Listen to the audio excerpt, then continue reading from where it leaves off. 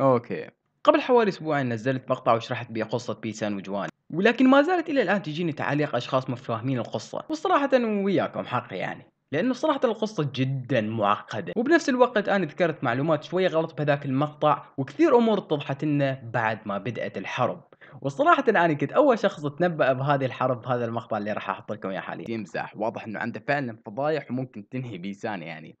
المهم إلى الآن بيسان وأنس ما ردّوا على جواري، وما أتوقع إنه حيردّوا، لأنه فعلًا إذا ردّوا حتكون بداية حرب جدًا قوية يعني. على كل نرجع لبداية القصة، يوم كانت بيسان تطلع ببثوث على مود تتغني وتجمّع شوية مصاري من المتابعين وغيرها. وبعدها اجى جواني وسحب بيسان ودخلها عالم اليوتيوب وفتح لها قناة وبدأوا يشتغلون ويا بعض وصاروا يسوون أغاني ومقاطع وكل إشي يخطر ببالك وبشهرين بس حققوا المليون مشترك. طبعا جواني هو اللي كان يمنتج وكل إشي وحتى قطع علاقته مع كثير من الأصدقاء منهم مرسال وبنفس الوقت بيسان أيضا قطعت علاقتها بوسام.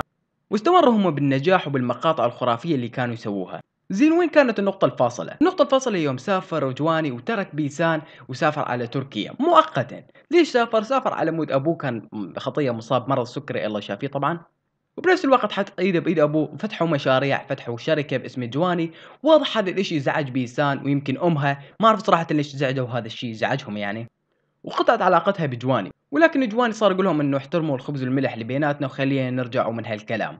ولكن واضح إنه بيسان في شخص كان لاعب براسها طبعا هنا متابعين كل شيء ما كانوا يدرون ولكن شاكين إنه أكو شيء بين جواني ليش مدى ينتقون من هالكلام. والنقطة الفاصلة كانت من جواني يوم طلع وحكى على بيسان بمقطع اللي هو كان يوم ياسمين خرجت من فافا نابولي. اول شيء ما نكرتي هذا الشيء، ما نكرتي إنه هو كان يتعب كمان، أنت كنت تعبتي بشيء معين كان أفكار ولا مونتاج ولا أي شيء، بعض جماعة اشتغلنا معهم نحن ونكروا هذا الشيء، نكروا شهور نحن بننتج لهم ونطلع أفكار وننشر لهم إياها ونعلمهم كيف يفتحوا يوتيوب نعلمهم كيف يحطوا عناوين أنت ما نسيت هذا الشيء. برافو عليك. هذا الأصل بلو هذا وصراحة كلام جواني صحيح يعني. فهو كان يساعد بيسان تقريبا بكل شيء طبعا بيسان بعدها طلعت وردت على هذا المقطع جواني وردت بعدها بمقطع ثاني بس ححط لكم بس هذا المقطع القصير يعني. هلأ بدي أسألكم. إذا اجى خروف وترجاكي لحتى ترجعي تحكي معه وهو كل يومين عم يتخرفن مع بنت شكل وانت قلعتيه. شو أول شي رح يحكي عنه؟ أكيد شرفك. وصراحة هذا الشيء مش كثير عجبني من بيسان صارت تقول إنه جوان يطلع مع بنات إنه على أساس هي ما كانت تطلع مع شباب هذا الوقت يعني. طبعا بعدها انقطعت العلاقة ما بين بيسان وجوان وجواني تقريبا نسى الامر صار يفتح مشاريع بتركيا فتح شركة وفتح كافيه وغيرها من الأمور. ولكن بيسان وأمها بقوا تقريبا ست شهور اللي قطع فيها جواني على اليوتيوب تقريبا صاروا يتكلموا عليه بثوث بستوريات ومن هالكلام. رغم إنه شوفوا شو كانت تحكي أم بيسان على جواني. أنا بتشرف فيه لجواني آه، جواني ابننا شهم. آه، أمين بيتأمن على الروح. أنت بتتكلم جد؟ مات. لا حول ولا قوة. يعني صراحة شوية أكو نفاق. يعني قبل كانت تقول عليه شخص جيد وحاليا بعد ما صار بيناتهم المشاكل صارت تقول عليه إنه هو شخص سيء. يعني شيء غريب الصراحة. وصراحة أنا لما كان جواني جدا أنزعج من هذا الإشي يعني أنا مش متدخل بيكم ليش أنتم تتدخلون بي ورغم هذا بقوا هم يتكلموا عليه. وبعد ما انتشرت الفضيحة اللي كانت على بيسان على ممثلة إباحية تقريبا تشبه بيسان ولكن مثل ما ندري إنه جواني شخص يعني نقدر نقول عليه يحب أهل بلده ويدافع دائما عنهم فطلع ودافع عن بيسان. راح أحط لكم المقطع اللي دافع به على بيسان وشوفوا. حبايب كيفكم؟ شو أخباركم؟ في كثير ناس من امبارح لليوم عم بعثوا لي فيديو تمام؟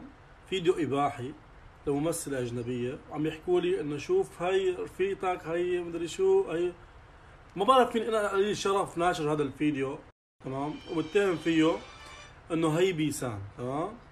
رغم كل شيء رغم كل شيء رغم كل شيء بس أنا ما برضاها ما برضاها إنه واحد قليل شرف مثل هذا ما عنده أخلاق ينشر هيك فيديو ويغطي الوشم اللي على البنت الأساسية الوشم منشان يظهر للناس إنه هي هي ها أنا بالنهاية بعمل بقصدي وبقول لك إذا كان عندك أصل وكان عندك احترام عيب عليكم تنشروا هذا الشيء وأي حدا بيصدق هذا هاي بيصدق هذا هذا الكلب أو بينشر الفيديو بيكون كلب مشاهدات مثل حكيته. طيب حلو جواني جميل عم بيدافع عن بيسان. طيب وين المشكلة؟ وراها انس الشايب اللي تعرفوه أتوقع كلكم اللي يطلع ويا بيسان من هالكلام طلع بال story مال إنستغرام مال بيسان. وشوفوا إيش رد على جواني. قبل ما نشوف رد أنس شايب صراحة بتكلم على هذا الشخص. الصراحه هذا الشخص يعني كثير من الأشخاص يقولوا ليش تتكلم عليه أحيانا إنه هو شخص كذاب أو منافق. صراحة الحركة اللي سواها مع جواني تثبت هذا الإشي آه، يوم التقى معه بتركيا وكان ناوي إنه يشتغل معه ولكن تركها على مود بيسان. بصراحة شيء مقرف. أول بني آدم التقيت معه في تركيا اللي هو أخوي وحبيب قلبي أبو الجواني كفو الإحساس. ترى صدق أنا مش واقف مع جواني ولكن هذا الشيء اللي صار يعني حطوا نفسكم مكان جواني إنه شخصين يخونوك بنفس الفترة صراحة شيء مزعج ومؤلم بنفس الوقت. ما ضل يا زلمة ما حدا حكى عن بيسان وكان يحكي عليها في العاطل صار يطلع ويعمل حاله بين أصل يدافع عليها. ولك ريح وقت ما إحنا بنعرف القصة. وقت أنا لسان 500 ولك لسان بوصل لألمانيا لعند بيت بيسان. طالع أنت تحكي تدافع عن بيسان أنا بدافع ماله صح صح معي. صح صح صح صح لافقعك box. اسمع فخر خليني أفهمك كم شغلة تمام؟ أنا إذا أنا بإمكاني أطلع وأحكي عن بيسان وأحكي عن القصة من أربع أيام بس ليش أنا أحكي عن ال story؟ والله أنا بعرف شو بيسان إحنا كل العالم بتعرف شو بيسان إسماعيل وإحنا واثقين بيسان إسماعيل وإحنا okay طبعا رح يرجع يعيد الكلام ألف مرة فما راح اعطي لكم إياه كله. المهم أنتم فهمتوا الفكرة إنه جالس يقول يعني إنه على جواني ليش تدافع عن بيسان بالمختصر يعني. okay أنا مو واقف مع أحد أو مو واقف مع جواني بس الصراحة الحركة يعني من أنس وبيسان جدا تافهة. يعني الحركة إنه تطلع وتحكي على شخص أصلا طالع عمودي يدافع عنك وتقول له ليش تدافع؟ استغفر الله. وطبعا بعدها طلع جواني ببيت وصار يهددهم إذا راح تحجون شيء ثاني راح أفضح كل إشي. وبعدها طبعا بكم يوم نزل ال diss اللي كان رهيب صراحة وبدت الحرب العالمية الثالثة.